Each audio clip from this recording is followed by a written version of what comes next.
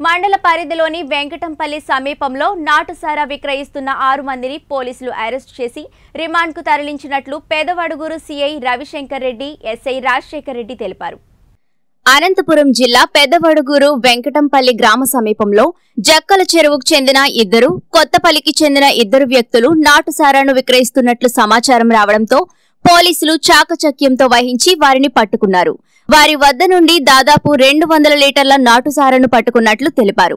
ఈ సందర్భంగా సిఐ రవిశంకర్ రెడ్డి రాజశేఖర్ రెడ్డి మాట్లాడుతూ నాటుసారా తాగడం వల్ల అనారోగ్యానికి గురవుతారని తెలిపారు. నాటుసారాను చాలా ఘోరంగా తయారు చేస్తున్నారని వీటిని తాగవద్దని ప్రజలకు హితవు పలికారు. ఇప్పటికైనా తెలుసుకుని అతని కుటుంబం చల్లగా ఉండాలని కోరుకుంటున్నామని తెలిపారు. ఈ కార్యక్రమంలో సిఐ రవిశంకర్ రెడ్డి జమీందార్లు పోలీసులు పాల్గొన్నారు. నిన్నటి దినము పెద్దవడుగూరు మండలం వెంకటాంపల్లి దగ్గర మా సిబ్బంది సహాయంతో పాఠశాల మీద దాడులు నిర్వహించి జట్టచెరువు జట్టచెరువు గ్రామము గుత్తి మండలానికి చెందిన ముగ్గురిని ఏ కొత్తపల్లికి చెందిన ఒక వ్యక్తిని పశ్చిమపల్లి తాండాకి చెందిన ఇద్దరిని మొత్తము ముగ్గురిని అరెస్టు చేయడం జరిగింది. ఈ ఈ దాడులలో ఒక ఆటో రెండు బైకులు సీజ్ చేయడం జరిగింది. రెండు వందల లీటర్ల నాటు సారాను సీజ్ చేయడం జరిగింది. మూడు వేల రెండు వందల రూపాయల నగదును కూడా సీజ్ చేయడం జరిగింది.